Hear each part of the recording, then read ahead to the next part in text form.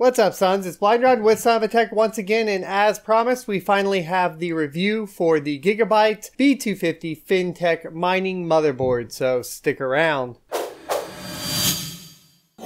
Alrighty, so maybe Gigabyte's a little late to the game, of course. We've already had entries from both ASRock, Biostar, as well as Asus, so I say both, but three other motherboard manufacturers that have already jumped into the game for the mining motherboards. You can find at least the ASRock on my channel here, and I haven't had a chance to review the others, but maybe we'll get to that at another time.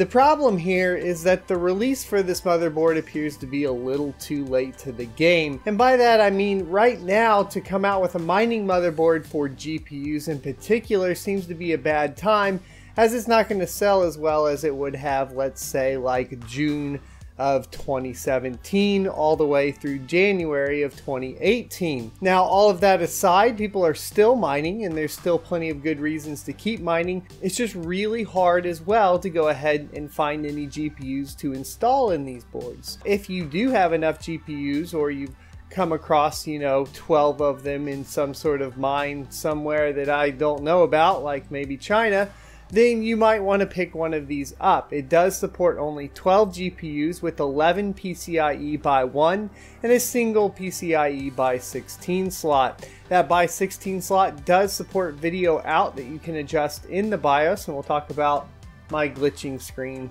here in a second. The BIOS is up, but I'm not sure what's going on with that there. Along with the PCIe slots on the motherboard, you're also going to have two Molex power adapters for additional power to those slots. Now, in theory, you're going to want to have both those supplied with power from your power supply if you're installing all 12 GPUs. However, this might not be necessary depending on which GPUs you're using and how much power you're actually drawing, as you should be using powered PCIe risers. Now, as far as CPU support, you're going to want to be looking for Kaby Lake and Skylake CPUs. I do currently have an i3 6100 in there and it came right up, so there was no problems with that particular CPU in case you're looking at purchasing one of. However, I would recommend something along the lines of the G4400 or G3930 to save some dosh. The motherboard is going to require a standard 24 pin power adapter for the CPU as well as an additional 8-pin power adapter. One of the nice things about this motherboard in particular is that it does come shipped with a three-way power supply splitter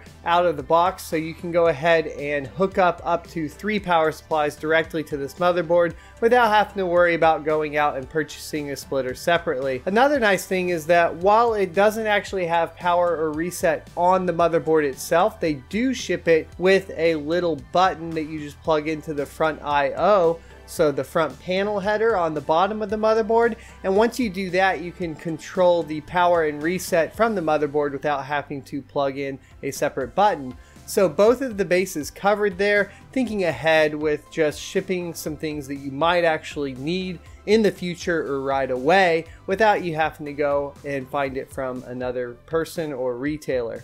Now hopping into the BIOS it's going to be pretty basic and straightforward. Now since it's a B250 there's going to be no overclocking support on the CPU itself and there's no real XMP profiles to set that I could see. However you can adjust memory timings accordingly to your preference. I wouldn't really recommend it anyways because you don't need to the 2133 base speed is going to be fine. Now, as well in the BIOS, you are going to pretty much find everything you could need for mining, including the 4G decoding, above 4G decoding, as well as some of the different speeds for your PCIe rails, and of course some power settings. Now it did take me a little bit to find out where the actual settings were to go ahead and have the motherboard power on when voltage was applied to the motherboard. So if you had a power loss, it would come back on. And actually under power settings, it's just called AC back. And once I enabled that, I went ahead and test. And I can show you right here real quick that if you just now go ahead and cut the power off at the power supply from the wall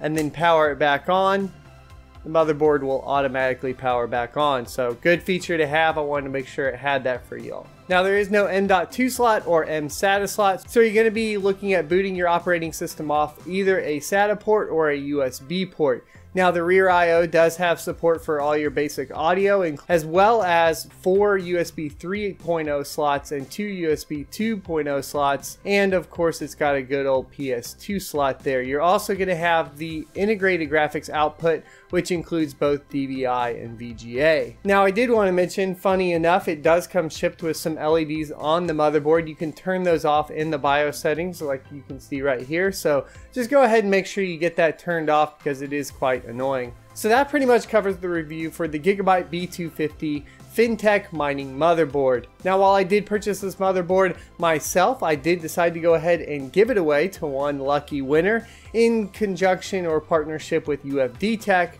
and I'll leave links to both the giveaway and his channel in the description below. Hope you enjoyed this video. Don't forget to like, comment, and subscribe down below. And as I said, this may be kind of late. Let me know, is it kind of late to be releasing a mining motherboard for GPUs? Or do you think it's a good time to go ahead and release one? I'm excited to hear your thoughts and I'll see you next Tuesday.